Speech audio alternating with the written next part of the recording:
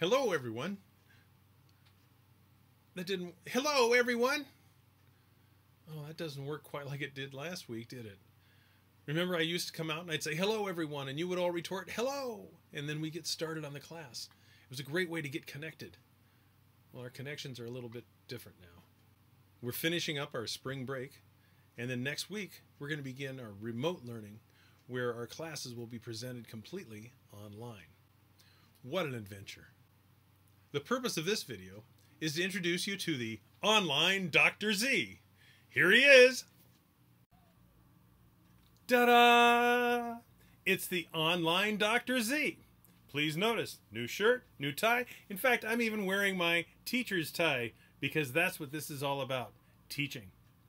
Yes, things will be different, but interestingly enough is that our class has been developed so it'll work both online and face-to-face. So there's not going to be a lot of changes. Some things will be different. Our main goals will remain the same. I will still challenge you with meaningful learning experiences to introduce the skills and knowledge that are required, and you'll engage yourself in the learning experience to demonstrate your mastery of the skills and knowledge just to beat the challenge that I've given you. That's going to stay the same. But let's take a look at our responsibilities. My responsibilities going to identify what you need to learn. I'm going to engage you in a positive learning experience and then I want to provide you with the necessary response for your success. Yours? Well, you need to engage yourself in that learning experience. You need to process what needs to be learned. Then you need to demonstrate proficiency through creating amazing projects and mastering your quizzes. And the basis of all this is to organize yourself. I know you're organized now, but you have a different world, a different situation so you might want to consider other things when it comes to organizing, and I'll show you some pointers.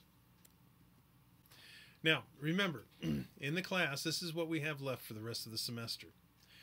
We have five lectures. We have global collaboration, computational thinking, information literacy, interactive learning, and becoming a change agent in your school. Exciting topics. Let's take a look at the projects. You're presently working on the teacher website, and you've really made a lot of progress on that so far. Next week, you'll begin your Google Classroom, which is going to be connecting to your teacher website. You're still working on your personal learning network. This is something you've probably already identified one or two PLNs, and it's a matter of finishing that off. And then finally, your final project is an interactive learning tool, or you have the option to pursue the Google Certified Educator through the exam. You have a choice of one or the other.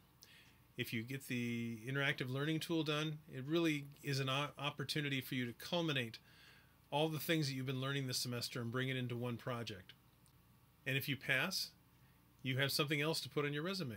It shows you have a great amount of skill in using Google tools, and this will get you far. Lecture. As always, the lectures will be supported through the content folders. As you can see here, each lecture folder begins by identifying your learning outcomes. Then it identifies the readings, watchings, listenings, and doings that we want you to review before you watch the lecture. Remember, this takes you out to a website that has all of these materials instead of using a, a textbook. Thirdly, is the actual lecture recording. This is the one that tells you the information. It's based upon the, the materials you've already read. And it includes a lecture handout, which are the slides that are used during the lecture. Finally, after you've done the RWLDs, you've watched the lecture, and maybe even talked it over with your colleagues, it's time for you to take the quiz. This is a five question open book quiz. Because what we want to do is we want you to think about it. In fact, take it with someone else the two of you could sit down and while you're sitting there and learning and and considering what the right answers are this is called learning. This is a process in which you are going to be using the materials you have calculating building upon it and using that for learning. Labs. Now these are your class projects. Now remember that when you open this up the class project begins with the requirements. Now these requirements are the parts that identify the background for it, what is expected, the point structure, and also the examples. Really important to see the examples and see what other people have done. As well as the project requirements, there are other materials that will show in your content folder. Things such as the Teacher Web uh, Lab Outline. This is a step by step process for creating a teacher web. Also, you're going to be learning about using Google Forms and slides in, in this class, and you're going to need to use those in your teacher website. So we have an outline there as to how to do that. And then finally, there's the submission Dropbox. The submission Dropbox is where you're going to include the URL for your assignment as well as the um, reflection template. Support. I'm trying to provide you with additional support since we're not going to be seeing each other face to face anymore. Now it's important for me to provide as much support to you as I can through digital uh, formats. This kind of video is one way to do that. I have a few other things we've created as well. First of all, we have the Einstein room. If you have any problems or questions or things like that, go ahead and post them into the Einstein room. You'll notice on the lower left hand corner, the third one up, it says Einstein room. When you click on that, it'll take you into the discussion room, and this is where you can leave your ideas. Instead of having everybody send notes to me, you know, with the same question, it makes sense to put them into the Einstein room, and if you have a question, go take a look and see if anybody's already answered it. If you don't know the answer, wait for somebody to answer. If you do know the answer, if you go in there and you like to answer things, see if there's some things in there you could answer. I'll be taking a look in there too.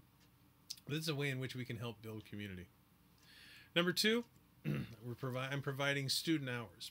This is what most people call office hours, but I'm calling them student hours because it's about you. I've decided to use uh, Tuesdays and Thursdays at 9:30 to 10, and then uh, 12:30 to 1, because those are the times that I teach classes typically. Um, we'll see how this works and see what happens. I, am going to be sitting uh, in my Zoom room just waiting for you. I'll be working on other things at that time, but I'll be waiting for you to drop by and say hi. This is a time when we can just talk. I can answer questions. I can provide instruction, whatever you need, but I want to make sure that I'm providing support for you. If you have something that you want individually arranged because maybe it's private, maybe it's just something you want to talk about that you don't want other people to hear about, I'm there for you. So contact me and we'll set up a time which would be a one on one. Also, I want to give you support, some moral support, and that is that a lot of you are doing amazing things for your PLN. You're contacting teachers from outside the United States. You're going out and you're contacting authors and people who are you look up to, people that you really want to make a connection with because those are the kinds of people you want to connect your students to. And so what you can do is remember when we uh, were in class, we would do something called the the PLN brag brag board, and that's where you got to put up something about what kind of PLN um, activities you've been doing in developing your PLN. Well, I'm going to give you that chance to do this as well. You just click on it, and it'll take you to a, a, Google Doc where you can actually enter your information about that. Now, I know Iowans don't like to brag. Let's just call it an information board where you're sharing the things that you've done. I also want to support you through explanations. You've already received a check sheet. Every Friday, I'm going to be sending you a check sheet about the things that need to be done over the next week. Yes, I know you have schedules. Yes, I know you have everything else, but sometimes it's easy for things to get away. So, this is a way in which you can actually use this as a check sheet to make sure you're doing everything and getting it all done. Secondly, I'll be doing weekly videos. Sometimes you just can't get all that information across on a, in just written form. And I like to share things with you too. And then every once in a while, there will be periodic videos or other additional uh, comments that I'll be putting in the announcements section just so you can have those because I want to keep you up to date. And I want you to keep me up to date. If you have questions, contact me and then I can do what I need to to help support. So, your responsibilities. What are your responsibilities as a student? Let's talk about that. First of all, you want to get the most out of your experiences and assignments. This isn't just a matter of going through and getting it done, although that's a goal that you might want to consider. I want you to set your goals. Uh, is it that you're trying going to try to do your best like you've always been doing, or are you just going to kind of let it slide? This is something you need to decide upon. I know that you all have the capacity and, and, capabilities and interest to do the very best because you know that the work that you're doing now is going to be benefiting your students in the future. So take a look at that. Once you've done that, I want you to organize your schedule. Uh, review our ed tech and design schedule as, as well as the due dates. Take a look at those, put those into your calendar, identify them into your calendar, and then kind of do a back, back stepping where you look at when it needs to be done and then take a look at the parts that are it and identify what types of mini due dates you would have along the way so you could actually get those points get those things done in sequence. Um, make sure that you identify specific times when you're going to be studying at home it is so easy to forget about studying because you're not going to school it's all online and I know I've had that problem myself, even as a teacher.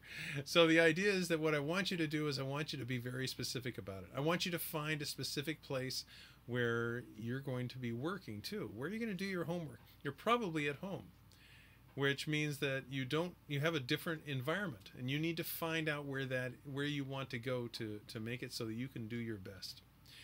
Maybe find a virtual study buddy, one of your buddies from class it's always great to have somebody else to talk to about this. It's a great way to make sure you get things done. Also, it's a great way to, to find out their points of view, and, and you'll learn a lot that way. Finally, what I'd like you to do is watch the video how to make the most of online courses. This is a 15 minute video. It addresses many of the things I just said. And there's the address, and that is tinyurl.com slash make most ETD. Well, folks, it's going to be a great semester. And I just want to remind you to keep at it and keep in touch. In other words, keep working, find what you need to do, develop those skills because you're going to be a future teacher and you need to be able to support your students. And most importantly, contact me if you have any questions. Have a great week, and I'll be talking to you again next week. Bye.